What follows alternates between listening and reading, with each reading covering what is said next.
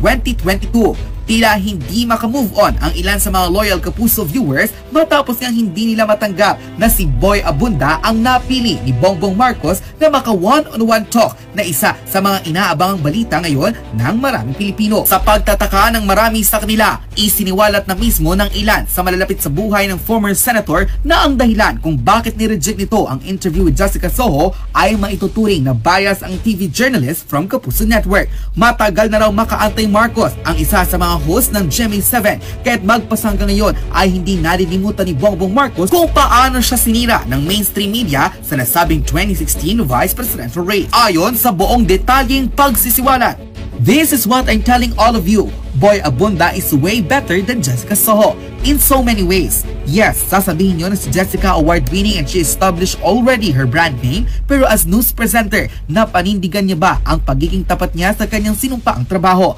I bet to disagree. Napakaraming pagkakataon na naging bias si Jessica lalo sa usapin ng politika. I should know because my mom and Miss Jessica are schoolmates sa UP.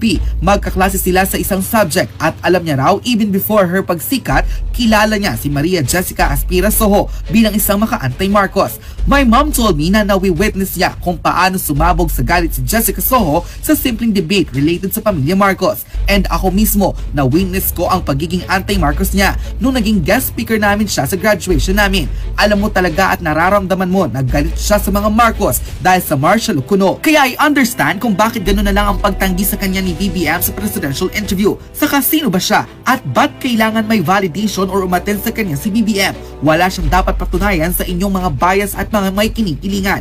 Hindi tulad ni Boy Abunda na fair lang sa lahat. Kahit sino pa yung humarang, babanggain niya kapag alam niyang may kinikilingan. Look at Chris Aquino, di ba magpakailang beses na siyang sinoplak ni Boy Abunda dun sa issue ng PSG at sa mga kaibigan niyang pinalusot ng milyones sa BIR.